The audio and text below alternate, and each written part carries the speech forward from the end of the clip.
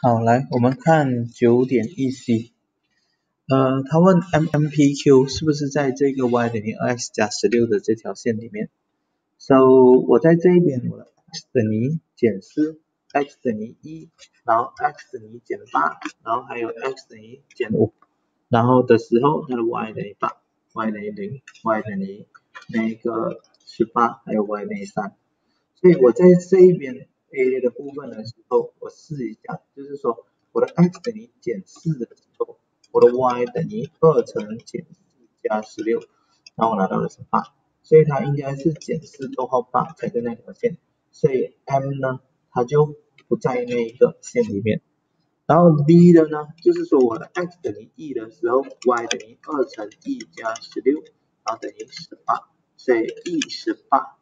，OK。所以这个点是 M，在 M 线里面。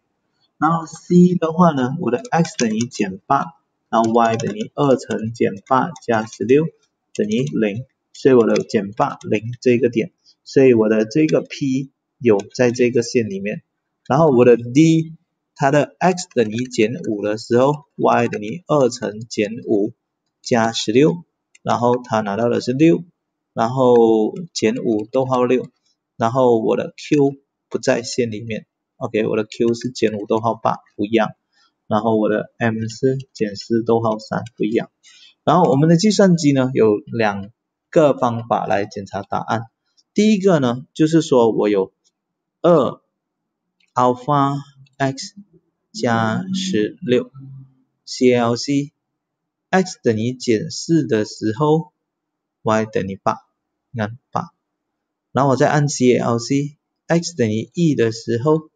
，y 等于十八；CLC，x 等于减八的时候，y 等于零；在 CLC，x 等于减五的时候，y 等于六。OK，另一种方式呢，就是我按 Mode，然后第六 Table，我的 f(x) 就是我的 y，我写二 Alpha x，Sorry。二 alpha x 加十六，然后等于 start from 我拿最小的吧，减八吧，然后 end at 最大的是一，step size 随便放一啊，所以你看减八的时候我对到的是零，然后减五我对到的是六，然后减四我对到的是八，然后一我对到的是十八。